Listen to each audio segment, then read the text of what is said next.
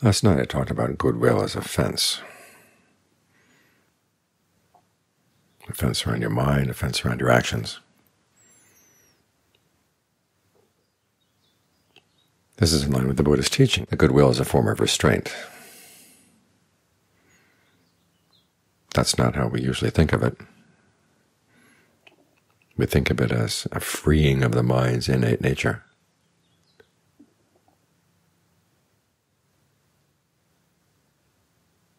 But that's assuming that the, its innate nature is basically good. But the Buddha never said it was basically good. He said it's basically changeable. We have all kinds of possibilities inside. We have to be very careful about what we think. This applies not only as we're meditating, but also as we go through life. Remember the Buddha's image. Said he got on the path when he realized that his thoughts were of two types, skillful and unskillful. In other words, he looked at them not in terms of what he liked to think or didn't like to think, what he believed or didn't believe. He looked at them in terms of the mind state from which they came and the actions to which they led. If they came from sensuality, ill will, thoughts of harmfulness, they were going to put bad ruts in the mind. As he said, they would bend the mind in a particular direction. And the more you allow yourself to think those thoughts, the deeper the ruts go, the more the mind gets bent.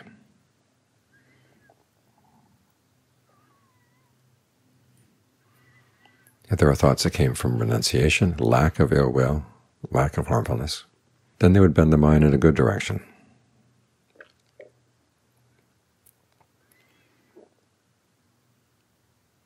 So he realized he had to keep close watch over his thoughts and hold them in restraint.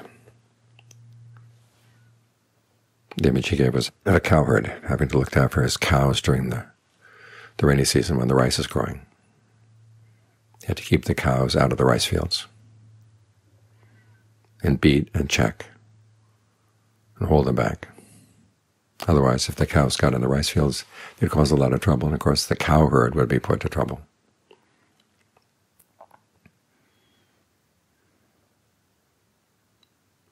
But cows are too gentle an imaging for some of the thoughts in our minds. We have tigers and wild dogs. And if we let them out in the neighborhood, it's going to be a lot of trouble for us, to say nothing of the trouble for the neighbors. So we have to build good fences. As they say, good fences make good neighbors. And having goodwill is a fence.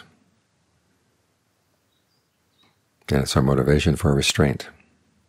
The Buddha talks about two kinds of restraint. There's restraint in terms of the things you look at and listen to. In other words, what's coming into the mind through the senses, what you're focusing on, why you're focusing on those things. And then there's restraint in terms of what you do and say and think, what's coming out. In both cases, the primary restraint is on the mind itself. In other words, you can look at something, and if, as long as the mind is in a skillful state of mind, even though it may be a beautiful object that would give rise to desire in other people, or something upsetting that would give rise to anger. But if you look at it with a skillful mind, there will be no desire, no anger.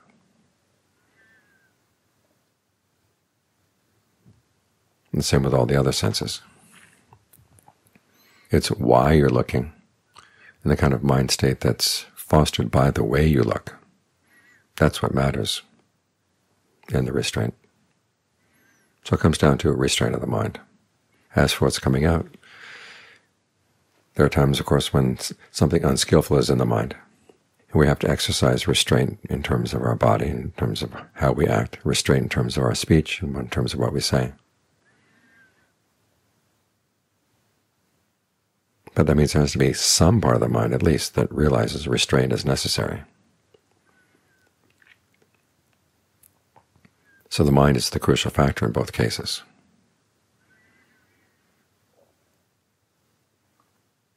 You have to look at what you're thinking, why you're thinking it. And what's going to happen if you continue to think in that way? Now part of the mind may say, well, it's true, true, true what I'm thinking. This is the way things are. But if you're thinking about something in a way that gives rise to anger, you're, you're looking at it wrong. If it gives rise to greed, it gives rise to, to fear, you're looking at it in the wrong way. After all, if arahants were looking at it, they wouldn't feel these things. They're the ones who are looking at things in the right way. So realize that there's something wrong.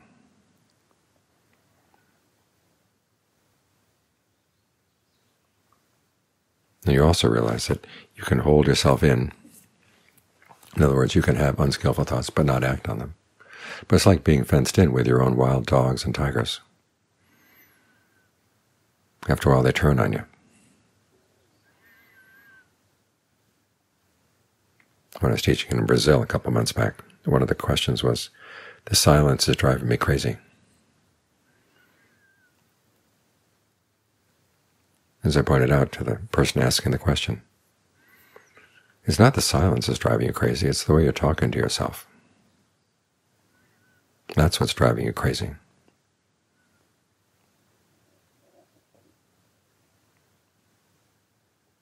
And so you have to turn around and look at the way you're thinking. Now, there's some people who say, well, simply be okay with whatever's coming up in the mind, but don't act on it. But we go through the world, we have to act on our thoughts. We have to choose the ones we're going to act on. And if we're not careful, we're not mindful, alert, ardent, all kinds of unskillful things can slip into our actions. So we actually have to counter the way we're thinking if it's unskillful. That means take it apart. This is when it's useful to think about the three kinds of fabrication. How are you breathing around the issue? When there's anger, you're breathing in a certain way. It gets into the body, it affects your digestion, it affects your health. I'll learn how to breathe in a different way, breathe in a way that's more calm. And look at the way you're talking to yourself. What are you saying to yourself about the situation? Can you step back and think of other ways of talking about the situation, ways that are just as true. It's just simply you're looking at different facts, focusing on different storylines. Think of that monk who was going to a far distant place in India where people were regarded as uncivilized. He went to see the Buddha to say goodbye. And the Buddha said, those people there are very uncivilized. What are you going to do if they start yelling at you? He said, I'm going to think they're really good that they're not hitting me. What if they hit you? I think they're really good and they're not throwing stones at me. What if they throw stones at you? I think they're really good and they're not stabbing me with a knife. What if they stab you with a knife? I think they're really good and they're not killing me. What if they kill you? I think at least my death wasn't a suicide. All of those things are true. Most people, though, as soon as they get yelled at, all they can think about is how upset they are they're being yelled at, how unfair it is. Why does that person yell at me? You can think in a different way, and it's much easier to take. And you're less likely to be responding in an unskillful way. You're avoiding some unskillful ruts that are in your mind. Your mind has been bent in one direction, you've got to bend it in another direction. Because once it's bent, of course it's going to see everything in line with the direction in which it's bent. And a large part of our practice is learning how to unbend the unskillful mind and bend it in a more skillful direction.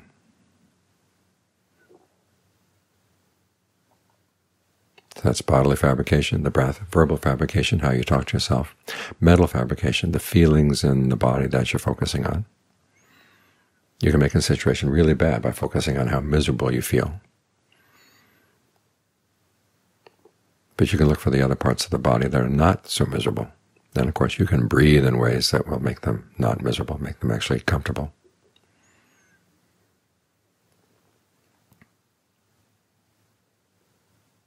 And then when unpleasant words come your way, unpleasant actions are around you,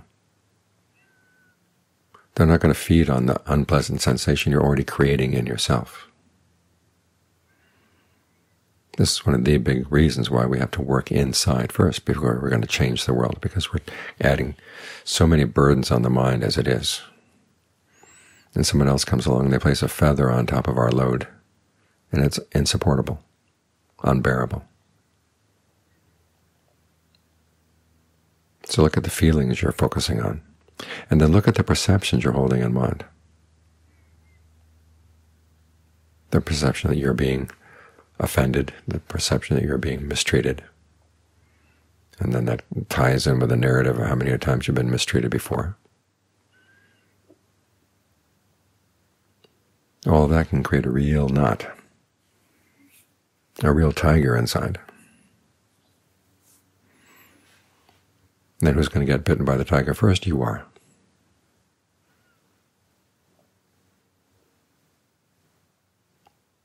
To learn to hold other perceptions in mind. Again, it's not that you're replacing true perceptions with false ones. You're replacing one perception, which is unskillful, with another perception that may be equally true, should be equally true, but is more skillful. There are more skillful ways of looking at things.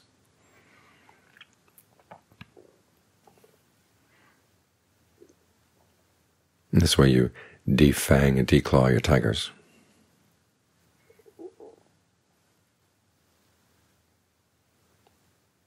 There's no danger to the people around you. There's no danger inside.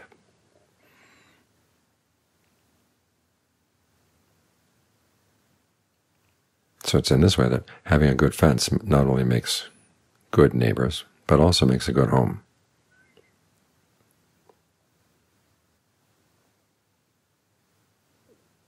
in which you not only exercise restraint by holding yourself back from saying things that you'd like to say, or doing things you'd like to do.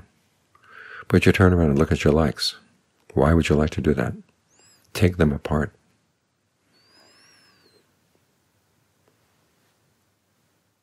Mindfulness, as the Buddha said, holds things in check. Mindfulness acts as restraint. And it's the discernment, though, that's going to end the problem. It cuts things off at the source. So have this combination of mindfulness and discernment, remembering that in Thai, the word for mindfulness and discernment, sati and panya, is put together, means intelligence. The practical intelligence of someone who knows how to take the knowledge they've been getting from the Dharma and actually putting it to use, keeping it in mind at all times, and using it at all times, and not only when they're meditating.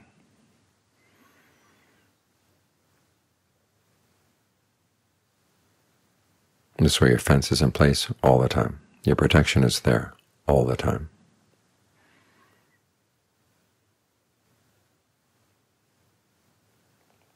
There's nothing inside the fence that's going to cause you any trouble or cause any trouble for people outside.